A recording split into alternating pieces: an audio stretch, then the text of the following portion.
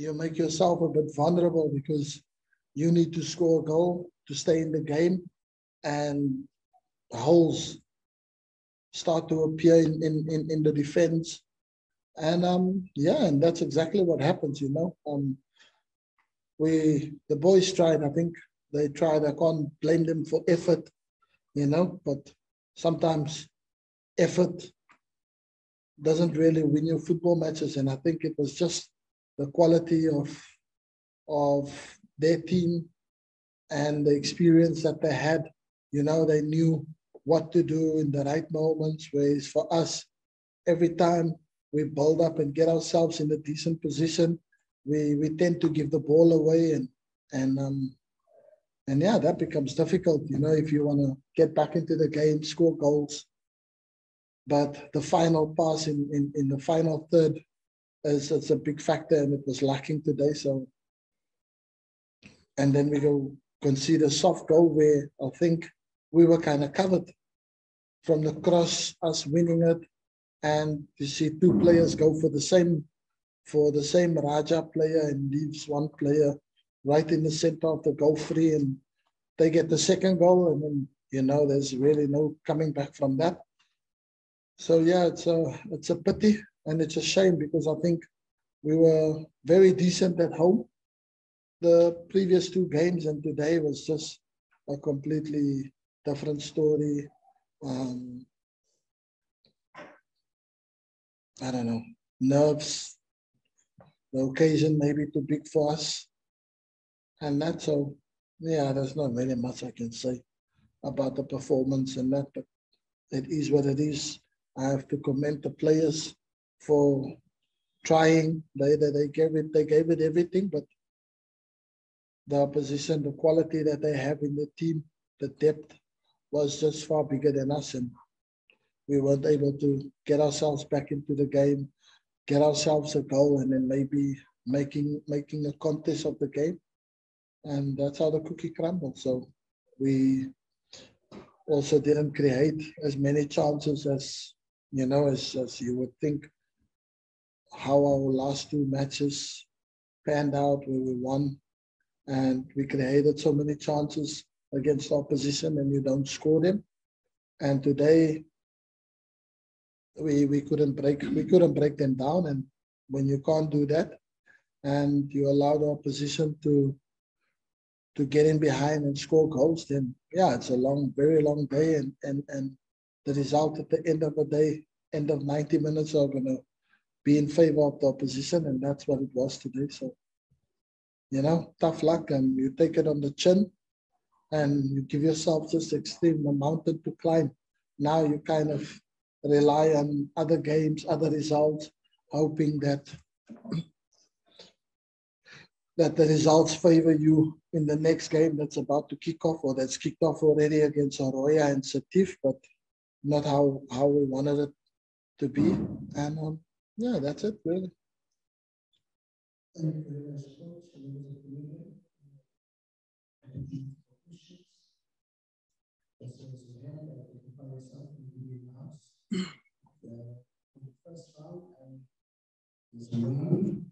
You. And you you one, four. Can we take those four hands? Uh, four is first round. We'll start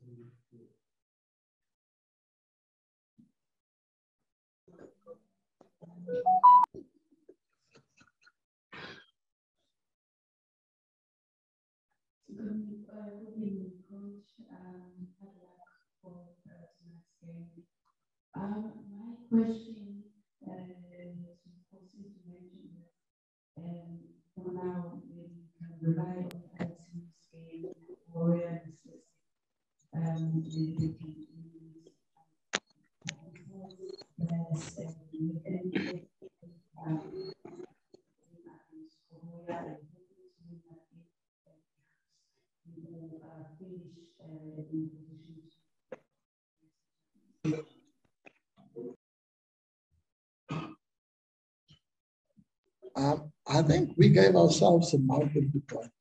Um, it's very difficult now, especially with the fact that you saw Horoya's last match at home against Raja.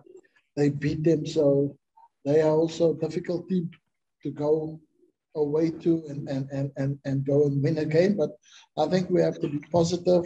We, we can't be like we go into a funeral. You know, we have to be upbeat about the situation. And Raja came here and, and, and they had a fantastic game and then they got the result that they wanted. They scored two goals. Uh, maybe we can do exactly the same as well, but that, that, that's going to be very difficult now. So, so yeah, it's not ideal situation for for me and the team. We, we want to rely on other people. We like to have our fate in our own hands. You know, it's about working hard, taking opportunities. And today we, we certainly didn't do that.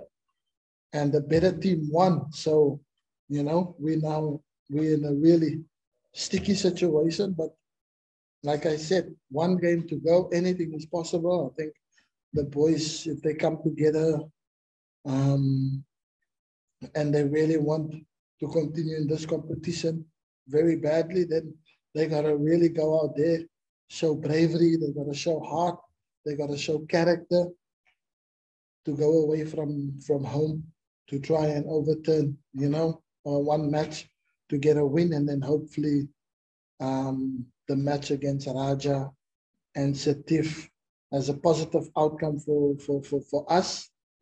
Um, so yeah, so now it's just hoping and praying that everywhere else the results work in our favor and that we can go away from home to Horoya and, and get a result. That's what it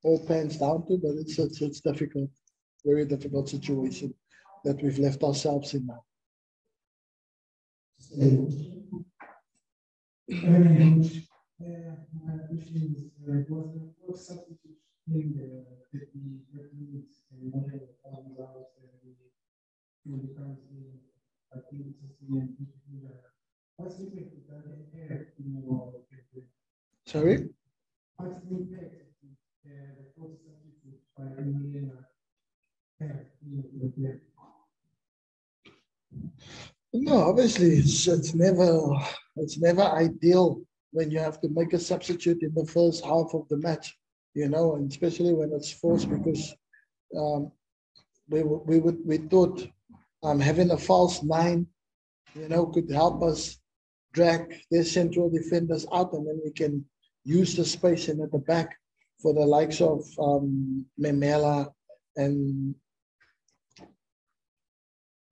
Kalinga to, to run into there with the pace that they have because um, the central defenders are um, they're very strong and physical in the dual battles, but I think in behind for pace they, they lack a bit, and we we had um we had pace in abundance, you know, and and obviously with Mulenga now going off, which kind of defeat the purpose where we wanted to get in behind them, and now we have to bring in a, a, a, a, regular number nine that compete physicality, which all credit to.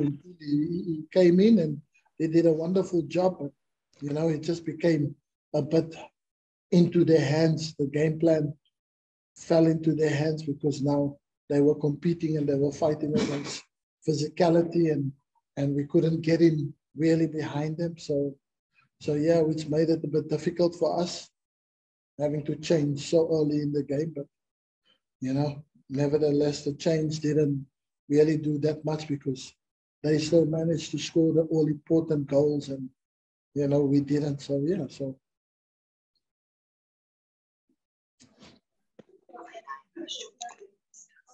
good evening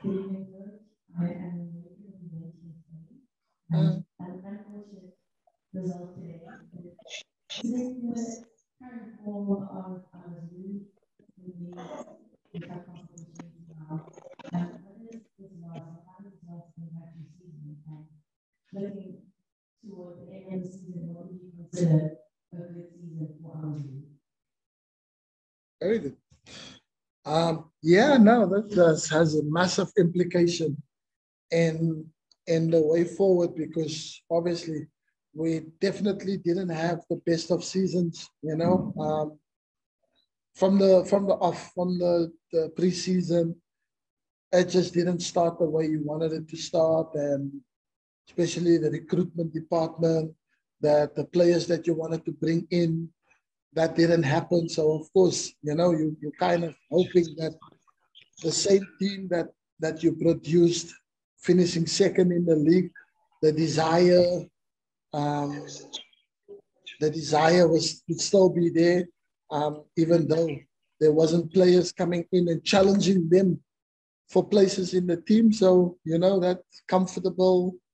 Um, so yeah, so when you start like that, then you know it's going it's, it's it's not going to be a very easy se- um, easy season, and um, yeah, so for me, it's been uh, mediocre, mediocre from what what you thought you could build on from you know the season we just finished with and um in the position that we did. So yeah so it didn't uh, that, that kind of disrupted the plans and this loss would have this loss just added massive pressure and and massive um I'm looking for a specific word, but I can't seem to find it. And yeah, it just adds enormous pressure now because this was kind of now the last game becomes extremely important that you have to win or you're out of the champions.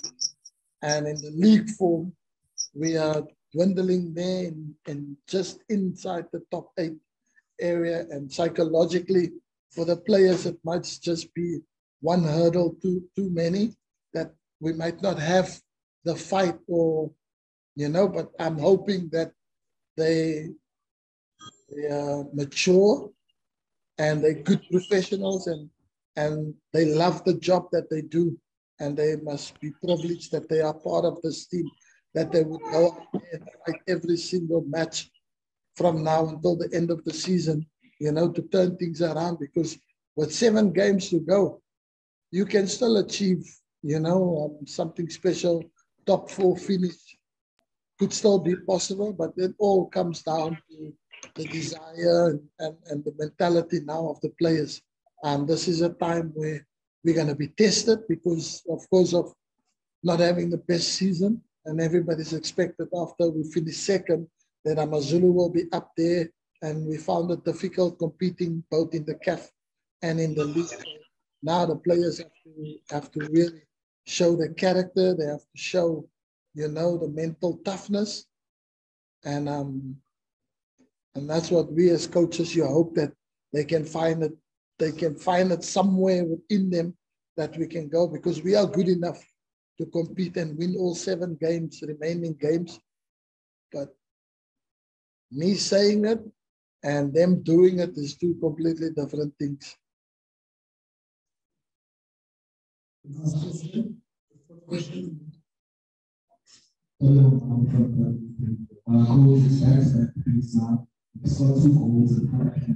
Uh, Champions League matches.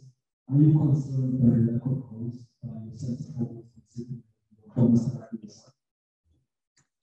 Yes, of course you would be concerned because if you look at us compare, besides today, um, we've created numerous chances against Raja. The first match, we could have had two goals to the goods, and we ended up with zero. Against Horoya, I think we could have won easily three or four no. We only won one no, and all the missed chances that we had, you know, to kill the game. And then against Setif at home, same thing. You know, you you see the amount of chances we created and it was clear cut goal scoring chances just to put the ball on target and then it's a goal and you don't get that and you only win by 1 0 and Setif away from home three glorious chances that we also had and you don't hit the target yeah then it becomes it becomes difficult and now your your, your home game um, zero goals so psychologically it is difficult. It's difficult for the players, but like I said, you know, you have to be mature about it. And we just have to, we just, they just have to keep keep playing the way we are, keep fighting, and then hopefully that by stroke of luck, you know, the ball get goes in the net and it changes the player's fortune and then goals will start coming. But yeah, it is difficult and it is worrying that we've not scored as many goals as we would have liked to. So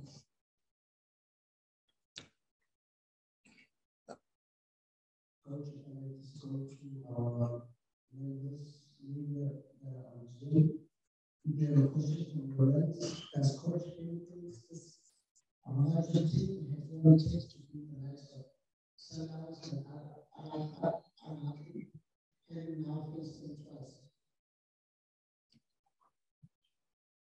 Um, I think yeah, they're very they're very experienced team. Um, they've got good quality.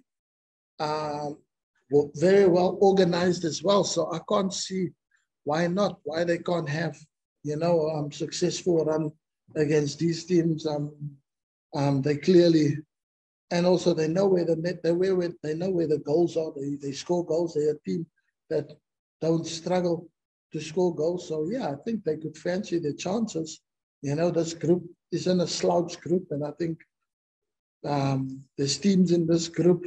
If they progress, they can compete against against teams in the other group, but it, it only gets tougher from here. Once you once you get out the group stages, that's when you're gonna you're gonna come across the the, the real McCoys, all the big boys, you know, in, in in the respective countries. So those are the challenges. But I think yeah, um, teams that progress from this group, they've got what it takes to go and compete, and they can they can certainly do that. And I think yeah, Raja has every every chance has that Al Ahly, um, Esperance, Sundowns have. So yeah, so they've got good quality. And um, we stood our ground, but you could see just a level, they were just a little bit a level above us because of the experience and the seasoned campaigners in this CAF Champions League and we it's first time, so it was it was tough, but we definitely gave it a good go. Colleagues, opening the second round and final for questions. You just raise your hands. There's one, two, three. Only three. Can you recognize the next? The first one.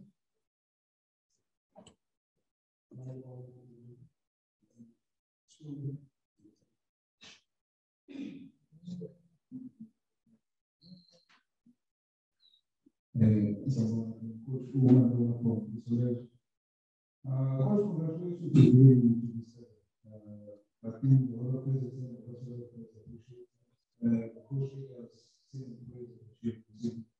ah, last you.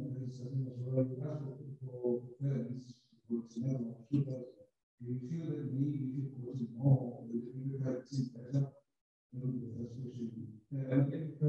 the the and that's the we can see that uh, all is not lost if you can move this team. And I think it's exactly what I said. Uh, and maybe, uh, since this is a good question, may I approach my colleagues. Um, the previous coach, we, he's been season that is tired. I don't know exactly what you said.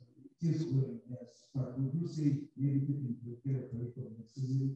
Just focus on or would you take the option or you have gone through your time?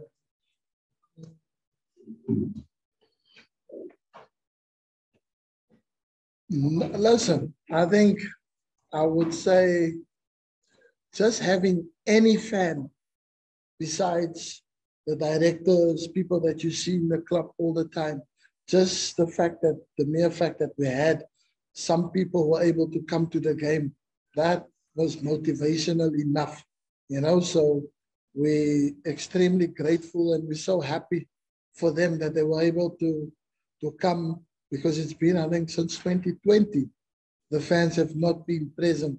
And that's all that's two years you know not being able to go and watch a, a live match of football. So so yes the, the little bit you know it's better than having no fans um so I don't think I don't think if we had a full stadium, it could have it would have made any difference. I think the opposition, the quality, the quality that the opposition showed today, that showed why they've won this competition four times in the past.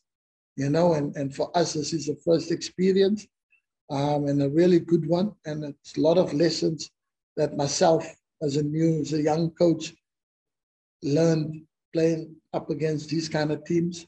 And um, and uh, definitely, I definitely think the way we performed and they performed, they just took their game to a whole different level, and we weren't able to do so. And um, so having a full stadium would maybe not have changed the result. I don't know. That you have to ask the, the players individually if maybe having fans here affected them because you became so accustomed to playing in front of empty stadiums and you like hearing your own voice echoing off the of the pitch. So now having people cheer for you. So maybe it was a factor also where nerves and that kicked in, playing in front of people again today. But you can't be, I don't want to take anything away from the opposition because they were they were solid, they were good. They showed their class today and they were just better than us on the day. So fans or no fans would not have helped. And then your second question was again? No, no, no, no, no, that one that you asked. Oh no, I mean, listen, me, I I enjoy I enjoy the challenge. I enjoy the challenge, and it's been such a such a learning experience. But it's it's it's, it's brilliant for upcoming young coaches that we're able to so so soon in our coaching career you have this opportunity to compete against teams who've, who've, played in this competition for many years, that's won it a few times. So for you to test yourself and learn and gain experience from this situation. So yeah, I would not change it for the world. And if if it's up to me, I would take it year after year after year. But unfortunately, the way our season is going, it definitely ain't coming next season. So so I don't really have a choice. Um, um I have to conf- confirm with just playing domestic football next season, which wasn't part of the plan because once you get a taste of this high level football, so many medias, if you play local game one, two, three, you know, so oh, this is great. You know, so I want to I want to experience and achieve having this all the time and learning from top clubs, top coaches. When you go when you go away from home, you see the facilities where where other teams in, in, in Africa are in terms of development, having training facilities, having their own facilities and, and where we are at the moment.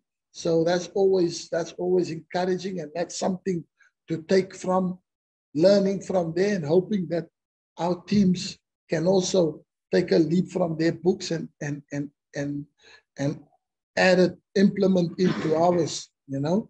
So I wouldn't change this for the world, but unfortunately, doesn't look like we'll be finishing second or getting Champions League football again anytime soon.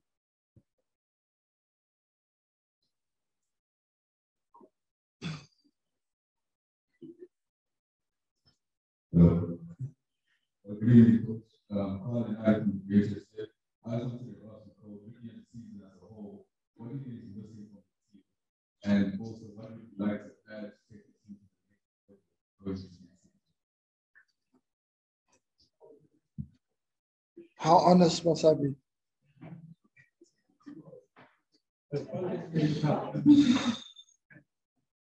Too much honesty will probably get me fired. Um, no, listen, I think, I think, you know, I'm, I'm, I can't wish for too much because I think when I joined the team, these players, they gave everything, you know, and they over exceeded the expectations, what they were capable of from, from 13 in the league when I joined to finishing second. That was I think no team has done that in the PSL era, you know, so that was an achievement in itself, you know. But then if you want to keep, if you want to keep that mentality, if you want to keep that momentum going, you have to add. You have to bring in a couple of new players to provide challenge for the guys because you don't want players to get comfortable because as a footballer, it's very easy to get comfortable. If I don't have challenges, if I'm playing, all I know I need to work hard in training to get myself into the starting 11. But there's not really challenges, anyone challenging me. So whether I have a mediocre game, an okay game, a best game, I'm playing the next match as, well. So, you know, you, you get performances that goes up and down. But when there's no one challenging you, no one pushing you for that for that spot, complacency kicks in, and that's part and parcel of the that's the DNA of of human beings. You know, if you're in this situation, because I know I've been a player myself, and if I know if I have a bad game, the coach changed me. The next player he scores two goals. I'm sitting on the bench for the next three, four, five games, and I don't want that. So I'm going to always make sure that I'm on my toes, that I'm always playing the best game that I possibly can, because the week that I that I give during training session will make sure that it will keep me in the team because my performances on match day shows that I I deserve to play. So he needs to wait his chance until I'm COVID till I catch COVID or I'm sick or I'm ill or I'm injured for for anybody to, to, to take me out the team, you know. But when you don't have that, it becomes very comfortable. And and and that's the situation. We we just became comfortable with with what we've achieved last season. And because there's not been much challenges coming in. So yeah, if, if we win, if we win games, brilliant. And if the opposition sometimes is a bit tough character, we don't have we don't have enough where we where we dig deep and that we that we fight the same way as we fight last season then now and, and, and that's the situation that you face with and you have to deal with it. You you have to try and turn it around but unfortunately the end of the day once the once the players step over that white line there's absolutely no tactics and no nothing that a coach can say to make players give you 150% every game, you know, to make sure that they show that same desire where they want to win anymore. And, and that's been that's been the story of our season this time. And like I said, our depth wasn't wasn't good enough where we can go and compete, you know, and and and that's that's not the players' fault, not the players' fault. Players can't be fault for that, you know. The, the club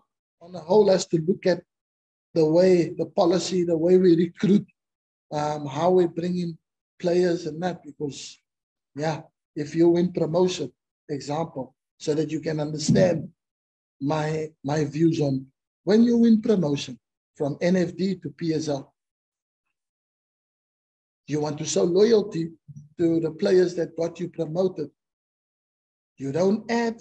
You think that team is going to be ready and good enough to play, compete against Premier League? They'll be the, the, the, the pundits, they'll be the bookies' favorite team to go down automatically because they are accustomed, they know championship or NFD and play PSL level is completely different. Can that player step up? Some teams, some teams are fortunate enough that you can, but some can't. So when you bring in new players, not saying that you have to discard the players that got you there, but in football is not an emotional game. It's a game of survival. If you want to survive, if you want to compete, if you want to, to challenge, you have to bring in quality players that can take your team to the next level. You can't just stick to the same and think that they're going to make that push automatically, you know, and that, that's been the story of our season. So, you know, we're grateful we're not second or third from bottom. We're still in the top eight. So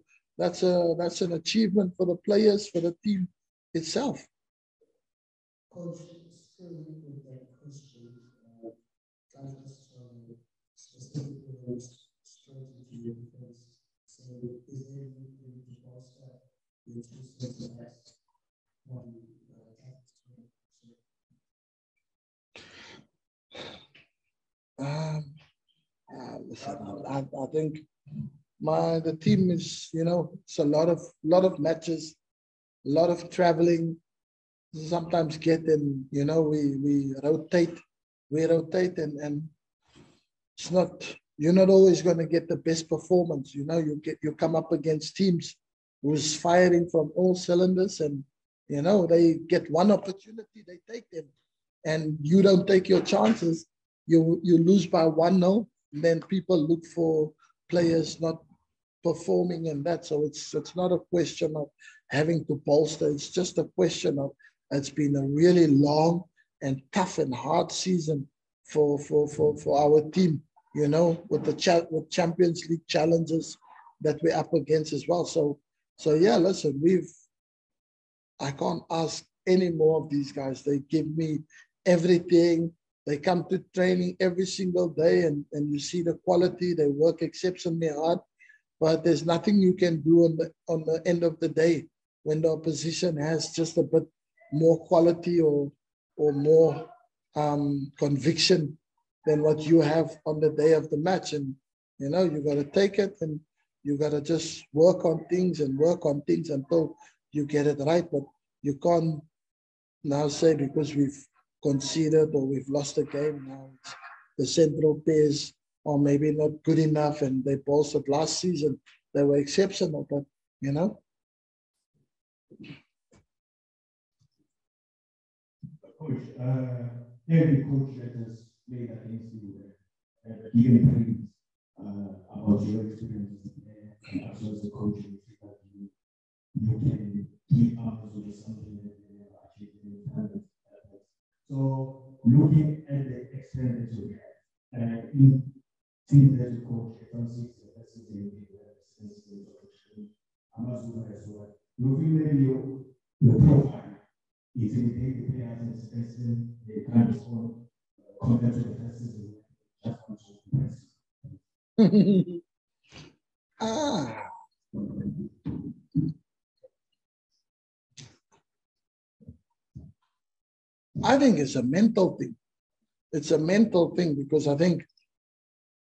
I'm I'm someone who went to Europe and I didn't want to play one season or two seasons. I wanted to complete. I wanted to finish my career in Europe because I think that was the best for me and for my family and for what I want to achieve out of life and what I want to achieve. So I had to, I knew every year I have to get better because I'll be out the door. And I did it for 15 years, you know, because I wanted it. And that is what players have to do.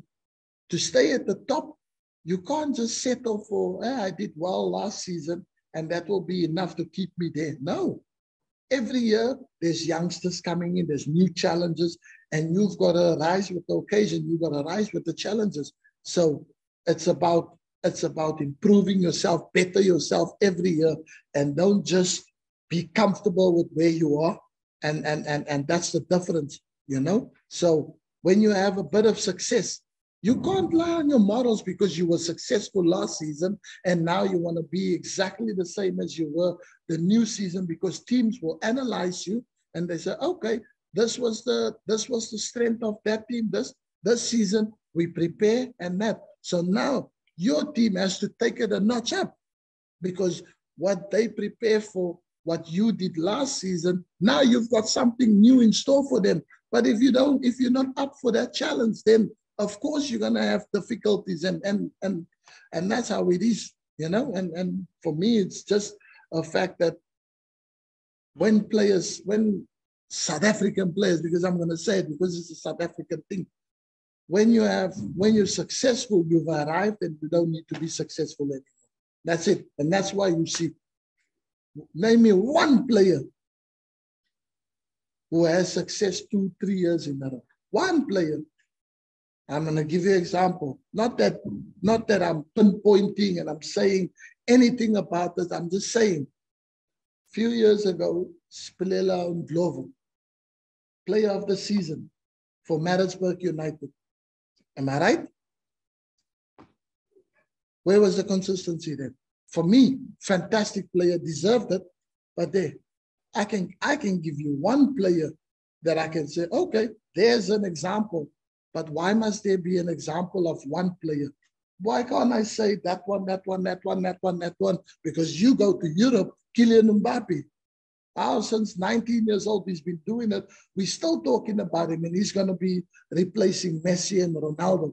Messi and Ronaldo. They do it for 15, 15 years consecutive, nonstop, because they know you have to improve. Yeah, if you want to be the best, if you want to be at the highest level, you gotta you gotta take it a notch up. You can't just be in third gear and expect you done. Hey, I I finished third or second in third gear. I can stay in third gear. Good luck. Someone else is gonna come. He's gonna go to fifth gear and he leave you still behind in third gear. And that's how it is. You know, Themba Zwane, one of the most consistent players for me in the league. That's a player I can tell you, season after season after season, the same performance, you know, the same performance, and he goes higher and higher. But how many other players can I name that, that I can say has been consistent? And that's a, a South African South African thing. It's a South African mentality that uh, if I have three, four good games, I've arrived, and now I don't need to, I don't need to want to achieve anymore. You know, and that's what I want to change. I want to make a difference. I want players to understand life is not just about being successful for one year and then you disappear off the face of the earth after that, but they remember you for that year. You know, you, you must be remembered for year after year after year because, you know, that's who you are. That's you want success all the time. If you taste success, success breeds success. If you want, if you taste it, then you enjoy it, then you want to stay there, you know? So whether uh, I'm becoming demanding, I don't think I'm demanding. I just want that the players give themselves a little bit. If you give, if you give 60%, next season, give 70%. It's not that hard, you know? So when there's when no when there's no when you don't succeed after that, then you know it's always the coach's fault which I, I accept, you know, but I'm never going to change how I am. Final question uh, from Tanya. How quick do you think the players will take to switch back to the PSL mentally? I think they have to, they have to, they have to switch very, very quickly and very soon as well because the PSL is your bread and butter. You know, that's where you compete for a whole season and you want to be, you want to do the best that you possibly can. You want to finish in a respectable position, a respectable place. So we have to switch it on straight away. You know, we can't dwell on, we can't dwell on the fact that, um, you know, that you didn't maybe have success in one game in the Champions League now everything is lost. Nothing is lost. You know, we still got plenty to achieve. We still got seven games where we can do exceptionally well in, and, you know, and then people say, hey, AmaZulu, sure, quality, because it's just all in the mindset. Thank you, coach. Members of the thank you. I tried, my man. Ah, no, no, uh, I, wanted to check uh, your prediction for fans Huh? Good luck to